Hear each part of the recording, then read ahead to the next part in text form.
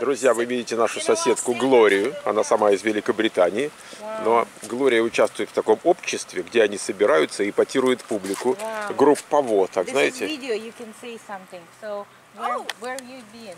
Oh, we just went to tea up in Redwood City at this lovely place called Lovejoy. Ага. And there were four of us in costume. And you are so thin, I can't believe I don't even recognize you. So did you did you uh, kind of confuse people around or excited we had a them? lot of good responses. Okay. Yeah, and we had a really good time. And I've got two more um, luncheons up at uh, Villa Montalvo uh -huh. to go up there, and one of them will, with, will, be with this lady again uh, with our costume group. This is beautiful. Yeah. So Thank did you. you. Did you make it yourself? No, I no? buy and, and put together. Yeah. But, but uh, still, you have to sew something, just adjust? No, no sewing or anything. I just wow. find the pieces and then put the pieces together, and I have the boots and everything. Oh my wow. goodness, wow. wow. Beautiful. Okay. Beautiful. So, do you have something like um, image in mind that you want to to I kind of get ideas uh, from movies and things, how things are going to go together. And how this one is called? So what? The Uh, name? this is more Victorian Uh-huh. or Edwardian. So it, it's a period uh, 18 something. Period, uh, late 18s. Yeah.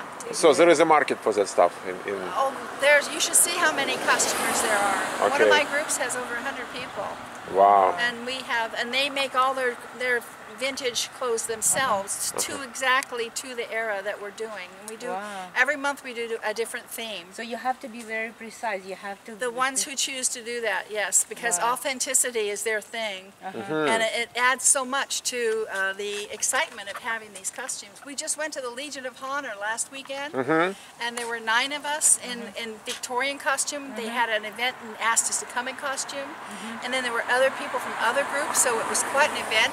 The people looking at all the beautiful uh, pictures at the Legion of Honor were just blown away by all Wh- of us. what is the Legion of Honor? Legion of Honor Oh, is the French? museum. The museum. Oh, it's a museum. Okay. Yeah, up uh, up uh, at Lincoln, here in San Francisco, Mm-hmm. has uh, these marvelous, uh, wonderful art that put there right now, and they wanted us. Mm. The uh, the museum itself had photographers come out and take pictures I of us. I just realized even glasses that fit your outfit.